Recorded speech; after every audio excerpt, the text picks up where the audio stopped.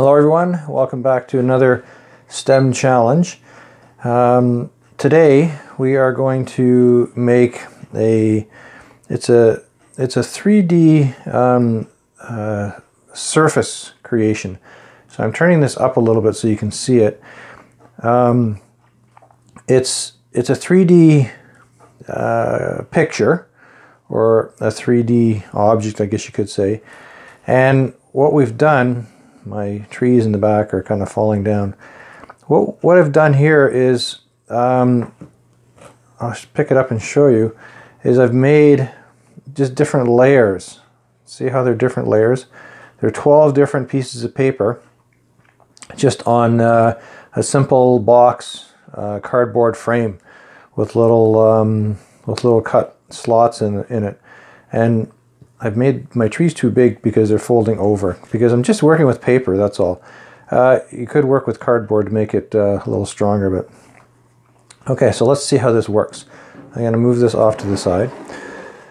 First thing you're going to need is what I've what I've done is uh, I made this actually out of a um, cracker box. Okay, because this box board, as I like to call it, is probably the best thing to use. Uh, you can use cardboard, but cardboard's a little harder to cut these out of. Um, so box board seems to be a little easier to uh, to work with. So here's what we need. Uh, I need two of these, two pieces that are 10 centimeters long and 3 centimeters tall. I need two.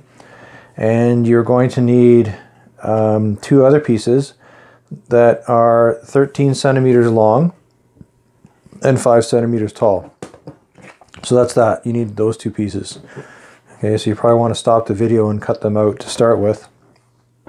Uh, and, and then just start it up again when we're ready to go. And now these two pieces, all you need to do is cut them and put them off to the side, the 10 by 3 centimeters, right? But these pieces we have to do some work with. And what we've done here is, um, after I've cut them out, I lay them like this, and I'm facing this towards you, is I've drawn a line two centimeters up from the bottom on both, okay? And now what I'm doing, and I'm gonna work through one piece with this, is I've made one centimeter spaces. Okay, and there's actually 12 of them. And what I've done is started a about a centimeter in, okay, from the edge, right? And I'm making 12 cuts. 1, 2, 3, 4, 5, 6, 7, 8, 9, 10, 11, 12. There's 12 cuts. Okay, this is the finished piece. So we'll work with this one right here. Okay. And as you can see, I have measured and made little marks every two centimeters. Or every, sorry, every centimeter. So there's one there, one there. I made little marks already ahead of time. Okay, and this line is two centimeters from the bottom. Okay, all the way across so that I have, basically I have 12, 12 marks. And I did that at the top and at the bottom. Because what I have to do is I have to draw little lines because I'm going to cut on these lines. So if I keep drawing each line as I move along, and this is this this is a little tedious. This challenge. There's a lot of little pieces to do. A lot of a lot of little cutting and, and fiddly work, as I like to call it. So now this is the tricky part. What we do, what we need to do is we need to make cuts all along these lines. Okay, so I'm going to go like this. There's a cut there. There's a cut there. There's a cut there. So you want to make a cut all the way along. And if you go a little farther past the line, that's okay that won't matter. It's almost better if maybe you do go a little bit past the line and I'll show you why after. Okay, so I've made my 12 cuts Okay, now the paper piece will fit in here, but it won't work because all you've done is you've cut the cardboard and if you put a piece of paper in it, you're adding more more distance and it makes all the cardboard go makes it go crooked. We need to make a gap in there. Okay, do you see how there's gaps in in this piece? All right. So now you need to decide which side you want to cut them on. I can't remember. Um, I think I did it on that side. So I'm cutting just another small little cut and there's no line for this one. Okay, so you're just cutting it beside the existing cut that you already made. And if you think it's a little too small, make it bigger. If you think it's a little too big, that's okay. It really won't matter. Okay, see we're cutting another, making another cut because we want to cut, we want to take a piece, actually piece out, a piece of box board out. All right, and I'm almost done going like this going like this. And now, see, that's what I've done. So I've cut a little piece so it comes out. And what I found works really well if you take all your pieces first and push them down just to make sure that they're cut through. And it looks like this works. This is working pretty good. Yeah, I think so. Okay, like this.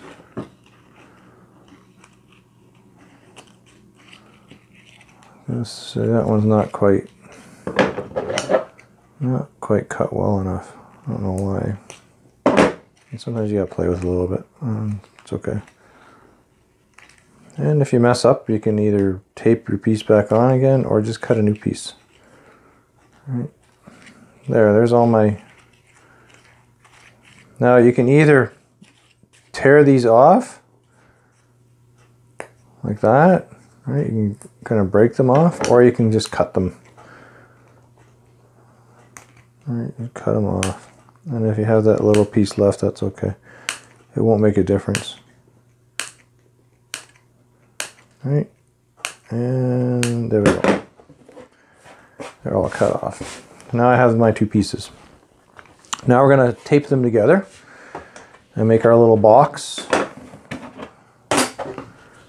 And this is an act, a build that we don't really need a lot of tape for. And this is also one of the things where I'm not sure if hot glue will really uh, make much of a difference. Now you want to try to put your tape, and I'm sorry, I'm going to be covering up the, uh, the numbers. Um, you want to put your tape below these little slots that you've made. Okay, and then, you know, line up the bottom. Okay, there's one side. And I think I'll put a piece of tape on here. I'm putting, um, I'm putting the, the writing from my box board on the inside, eh, just to, just to make it look cleaner, that's all. Right, because I want the cardboard look on the outside. Now I just have to put this together like this. And you might need somebody to help you hold this. Okay, there's another one. Put this end on. And we're good. So you're just making a box, that's all. All right, just a simple, just a simple frame frame box. Okay, but this box has no bottom and no top. Okay, there we go. Now we're all set. Now, this is what you'll end up with. Uh, the front, doesn't matter which is the front or the back. And what I've done is I, I've, I've made my sheets, I wanted it easy to have consistent pieces. okay, so I've taken three, three sheets of paper, regular sheets of paper, and I'm going to fold them. okay, and I'm folding them in half like this. And then I'm to open it, and you can do this any way you want. We just want we want we want to cut it in four sections because four times three is 12. We need 12 pieces of paper. So fold it once this way and fold it once this way and then you're just going to cut along all the folds. That's all. So however you do that, it doesn't matter as long as you have your four equal equal folds. Right, and this is the best way to make them reasonably equal. And if they're off a little bit, that's okay, it won't matter. All right, so after I cut them, I should have 12 pieces because I know that 4 times 3 is 12. Okay, 1, 2, 3, 4, 5, 6, 7, 8, 11, and there's 12 because I know I skipped one because they're stuck together. There. Now, this is the hard part. Um, I'm going to do a face, so I face you. Now, we start with the back, and this is going to be obviously your tallest point, right? And I'm not going to do a lot of drawing or coloring. Now, here's the problem with this paper is it does it does fall, and I know on my tree, I thought it'd be a good idea at the time, but see it, it, it flops around a lot because it, it it's a thin it's a thin piece that is not held on by too much, right? So I'm to put it back. There we go. Move this one over. There, move it to the side. And I've colored mine, my first one, so it looks just like kind of a river and some grass and just I made some hills. And all you do is, so I'm going to say, I'm to make it, I'm to make it half. And this is where you can play around with it. Or maybe I'll make it, I'm to fold it like this because I want that to be my, so what I'm going to do is I'm just going to, I'm just going to do real, real simple lines. So if I go like this, there.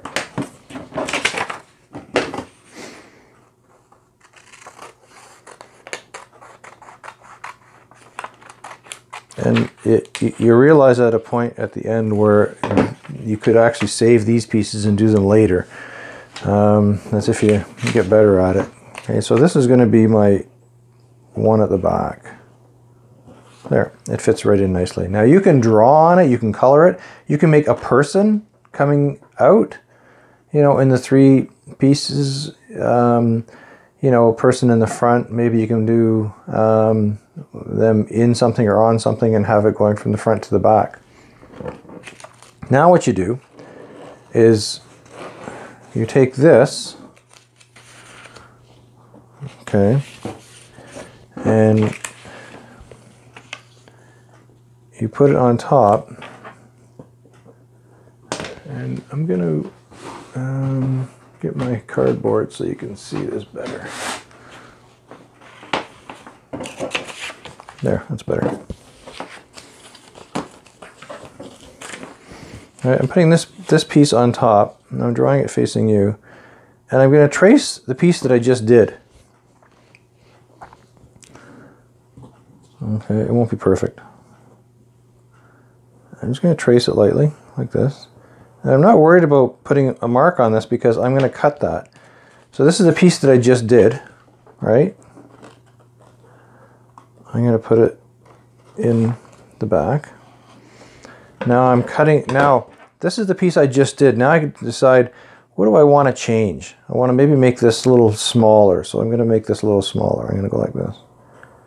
Going to make it smaller like this. And I'm not going to go short. I'm just going to make this distance here different. So you can see as you get to the front, the back pieces are taller, right? And the front pieces get shorter. So if you can see that, see there's the back piece, there's the front piece, and it's getting shorter so you see the difference. And you can make the scene as you go right? Now I can do the same thing. I'm going to take this piece out. and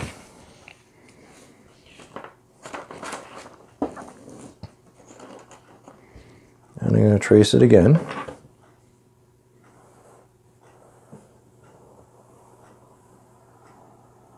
There. So there's the one I just did. Now I'm going to put this in my box. And the next slots. There we go. Okay, good. And now I want to change it because I want to make this a little lower. So I think I'm going to go maybe a little lower on this side, right? And then go up. Because eventually I think I want to start lowering this one down too. So here's where I'm cutting. Okay, and you can do any kind of scenes with this. You can do a house scene. You can do a, a traveling scene. Um, however, however you want to do that, and it just it just becomes 3D. It's, it ends up being very cool. And you might need to practice with the pieces of paper. Okay, so when I put this one in now, there you can see how this is this is taller, shorter, and this is shorter, right? Taller, shorter, and shorter. And these are all the same size. So I think the next one I would do, I might make this one a little shorter, um, and I might make this one shorter as well. You can actually even go up a little bit here if you want to, but to be really effective, you need to kind of see what's at the back. Right. Another one I've seen is they've made it come up and then down. Right. They've made a hill in the middle. Okay, and it would look it looks neat when it's, it's kind of sideways because you can see that curve. Right, so the next one, if I want to do that, I would start making the hill up like this. Okay, um, I'm gonna do one more because this does it does take time. right, and then we pull this off. The last one we did, we put it on here, and we trace it.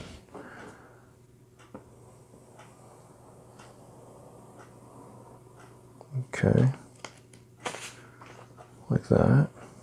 And that's why I put the tree in the background um, of the other one, but I made the tree too big. I think one like this would be a little better. It's a little smaller. So if I put that back there, this this one's a little. These are these are a little short, right? Um, there they are. Okay, I'll put it back. So yeah, you might have to play with the paper a little bit to decide what you want to do. And I just made a scenery um, scene like a trees and grass um, just to see how it would work. And um, no, I'll put this one back because that's my last. I'm gonna do one more. So that so for this one, if I decide that okay, I'm gonna go, I'm gonna go, I'm gonna make another valley. I'm gonna go like this. I'm gonna start up here, but I'm gonna start creating a little valley to go down. Right, and it's okay to drop down below your your holder cardboard pieces. That's fine.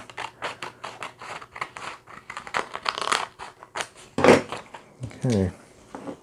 And here's another one. So I think you get the idea of how this is done. All right, you just keep putting pieces in and you're always using 12. So you can pre-plan it as well.